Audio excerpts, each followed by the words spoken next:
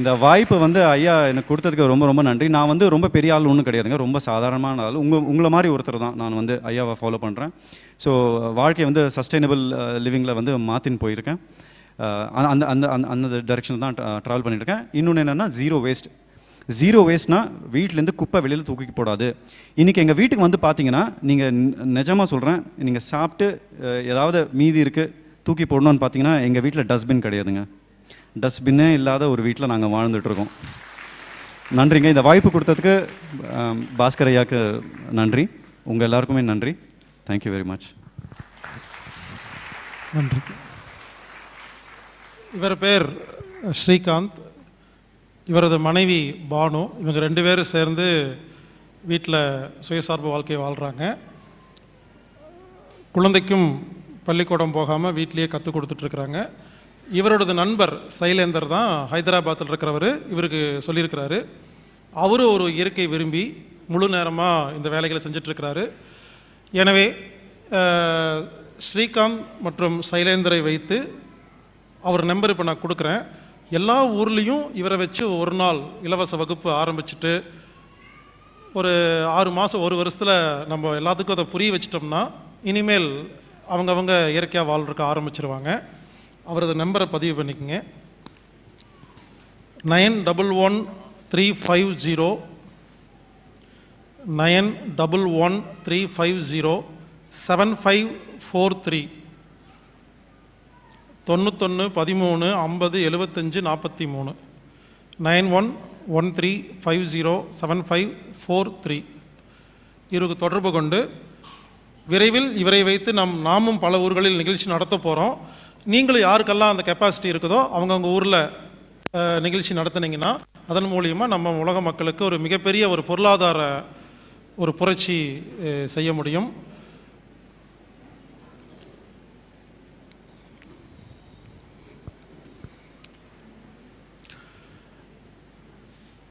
இந்த மண்டபத்தை நமக்கு இலவசமாக கொடுத்த மண்டப உரிமையாளர் திரு ஆனந்த் ஐயா அவர்களுக்கு நன்றி. வாழ்க வளமுடன் வாழ்க வளமுடன். இந்த மண்டப உரிமையாளர் ஆனந்த் ஐயா அவர்கள் அவரும் ரொம்ப வருஷமாக இதெல்லாம் ஃபாலோ பண்ணிட்டுருக்கிறாரு.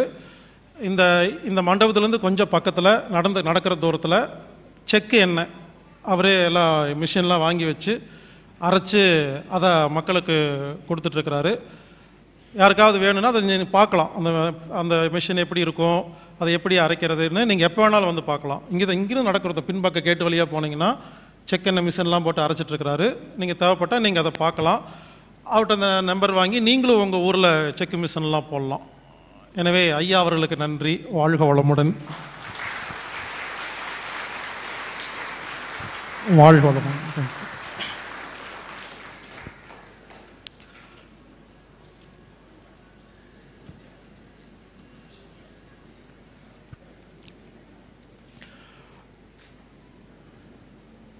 நான் வந்துங்க பல வருஷமாக ஒரு ஐந்து நாள் வகுப்பு நடத்திட்டு வந்தேன் கோயம்புத்தூரில். எல்லோரும் என்கிட்ட கேட்குற கேள்வி எனக்கு தலைவலிக்குது கிட்னியில் கல் இருக்குது கேன்சர் இருக்குது சுகர் இருக்குது பிபி இருக்குது மூட்டு வலி இருக்குது இது எப்படி சரி பண்ணுறதுன்னு எல்லாத்துக்கும் ஒரு கேள்வி இருக்கும் என்கிட்ட. அதை பற்றி நான் ஒரே சிம்பிளாக சொல்லிடுறேன். எங்கிட்ட எந்த நோய்க்கு யார் என்ன கேள்வி கேட்டாலும் எங்கிட்ட ஒரே ஒரு பதில் தான் இருக்குது. கோயம்புத்தூரில் நான் ஒரு ஐந்து நாள் வகுப்பு நடத்தி வந்தேன். அதுக்கு அர்த்தம் புரியும் நினைக்கிறேன். நடத்திட்டு இருந்தேன். அந்த கிளாஸுக்கு வாங்கன்னு சொல்லுவேன். வழக்கமாக ஒரு இரநூறு பேர் வருவாங்க. ஒரு சாப்பிட்றது தங்குறது எல்லாமே அங்கேயே ஒரு இடத்துல இரநூறு பேரும் தங்கணும். இங்கே பாருங்க ஒரு மருந்து இல்லை. ஒரு மாத்திரை இல்லை. வார வாரம் வந்து பார்த்துட்டு போங்கங்கல்ல. ஸ்கேன் ரிப்போர்ட்டு பிளட் டெஸ்ட்லாம் எனக்கு பார்க்கவும் தெரியாது. எனக்கு காட் காட்ட வேண்டிய அவசியம் இல்லை. உங்கள் நோய் என்னன்னு சொல்ல வேண்டிய அவசியம் இல்லை. இரநூறு பேர் வருவாங்க. ஒரு ஹால் இருக்கும் மைக் இருக்கும். அஞ்சு நாளும் நான் பேசிக்கிட்டே இருப்பேங்க. காலையில் ஒம்பது மணிக்கு மைக்கு பிடிப்பேன். நைட் ஒம்பது மணிக்கு தான் வைப்பேன். ரெண்டு மணி நேரம் பேசுவேன் ஒரு மணி நேரம் ரெஸ்ட்டு ரெண்டு மணி நேரம் பேசுவேன் ஒரு மணி நேரம் ரெஸ்ட்டு தெளிய வச்சு தெளிய வச்சு அடிப்பேன் அஞ்சு நாளைக்கு. இந்த அஞ்சு நாளில் யாருக்கிட்டேயும் உங்கள் நோய் என்னன்னு கேட்க மாட்டேன் இல்லைங்களா அப்போ எப்படி அதை சிகிச்சை அப்படின்னு கேட்டிங்கன்னா நோ உடம்புன்னா என்ன? ரத்தம்னா என்ன? ரத்தத்தில் என்னமெல்லாம் பொருள் இருக்குது கண்ணு காது மூக்கு கிட்னி கணையமெல்லாம் எப்படி வேலை செய்யுது? உடல் உறுப்புகளுடைய வேலை என்ன? நோய் ஏன் வருது? சுகர் ஏன் வருது? பேங்க்ரியாஸ் ஏன் சுரக்க மாட்டேங்குது? கிட்னியில் ஏன் கல்வது கருவேப்பையில் ஏன் கட்டி வருது? கேன்சர் வருதுன்னு எல்லா நோய்களை பற்றி விளக்கமாக சொல்லிட்டு கடைசியாக இந்த மருந்து மாத்திரை கம்பெனிகள் ஏன் வந்து குணப்படுத்த முடியல அப்படிங்கிறதை விளக்கமாக சொல்லிட்டு மருந்தே இல்லாமல் மாத்திரையே இல்லாமல் நமக்கு நாமே எப்படி சரி பண்ணுறதுங்கிறத சொல்லி கொடுக்கறதுக்கு ரெண்டு நாள் தாங்க. அஞ்சு நாள் கிளாஸில் ரெண்டு நாள் மட்டும்தான் நோயை பற்றி உடம்பை பற்றி ஆரோக்கியத்தை பற்றி பேசுவேன். அப்போது இரநூறு பேர் வந்திருக்காங்க இல்லைங்களா? அவங்களுக்கு எந்த வியாதியாக இருந்தாலும் ரெண்டாவது நாள் நைட்டு தனக்குத்தானே எப்படி சரி பண்ணுறதுன்னு தெரிஞ்சிருங்க. மூணாவது நாள் மனசுன்னா என்ன? இந்த டென்ஷன் கோபம் பயம் கவலை கடுப்பு வேதனை விரக்தி இதெல்லாம் ஏன் வருது? அதை எப்படி சரி பண்ணி சந்தோஷமாக ஹாப்பியாக நிம்மதியாக ஜாலியாக வாழ்கிறதுன்னு கற்றுக் கொடுக்கறக்கு ஒரு நாள் கிளாஸுங்க ஒரு விஷயம் சொல்கிறேன் கேளுங்க. நான் வெளியே இருந்த பொழுதும் கைது செய்யும் பொழுதும் சிறையில் இருந்த பொழுதும் வெளியே வந்த பொழுதும் என் மனம் எப்பொழுதும் ஒரே மாதிரி தான் இருந்து கொண்டிருக்கிறது. இது எப்படின்னு தெரிஞ்சிருச்சுன்னா வாழ்க்கைன்னா எல்லாமே வரும். வராமல்லாம் இல்லை வரும். அப்போ நம்ம எப்படி பிஹேவ் பண்ணுறோங்கிறது தான் ஞானமே தவிர வரக்கூடாது அப்படிங்கிறது ஞானம் கிடையாது. எல்லாமே வரும். அப்போது மனதை எப்படி ஒழுங்காக வைத்துக்கொள்வது அதுக்கு ஒரே ஒரு ஒரே ஒரு விளக்கமாக சிம்பிளாக சொல்கிறேன் நேற்று காலையில் என்ன சாப்பிட்டீங்க? எல்லோரும் யோசிங்க. எல்லாத்துக்கும் ஞாபகம் வந்திருக்கும். இந்த வருஷம் ஜனவரி மாதம் மூணாந்தேதி காலையில் என்ன சாப்பிட்டீங்க?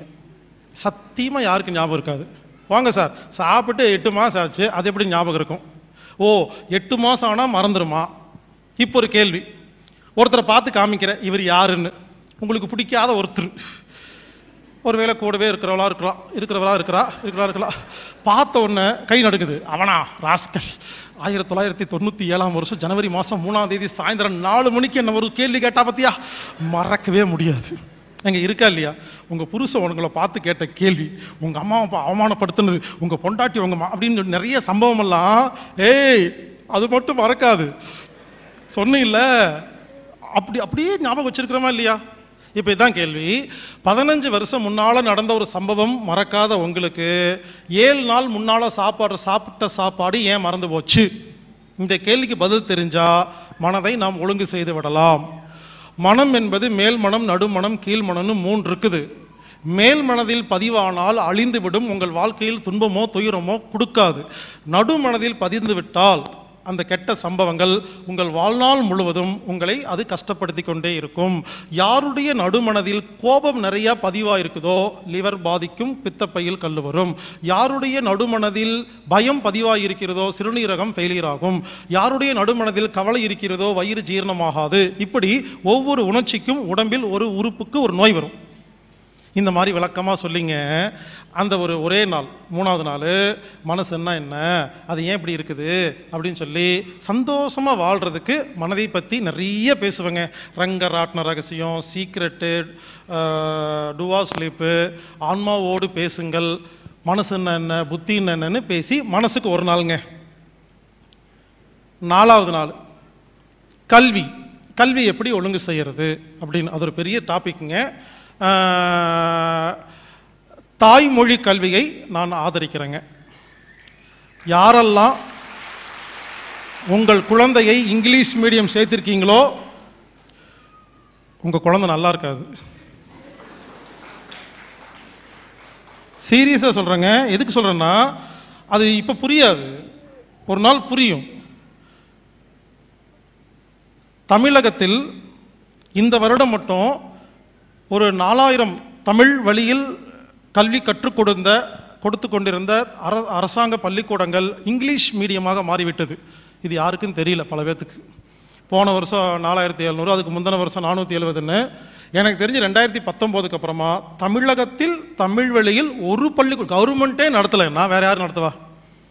எனவே இதை ஒரு சீரியஸாக ஒரு விஷயமா எடுத்துக்கிட்டு நாம் எல்லாரும் தாய்மொழி கல்விக்கு திரும்ப வேண்டிய ஒரு கட்டாயத்தில் இருக்கிறோம். உடனே கேட்பீங்க அது என்ன? இங்கிலீஷில் படித்தா தானே ரொம்ப அது அதிகமாக அறிவு இருக்குன்னு? இதனை ஒத்துக்கொள்ளவே மாட்டேன்.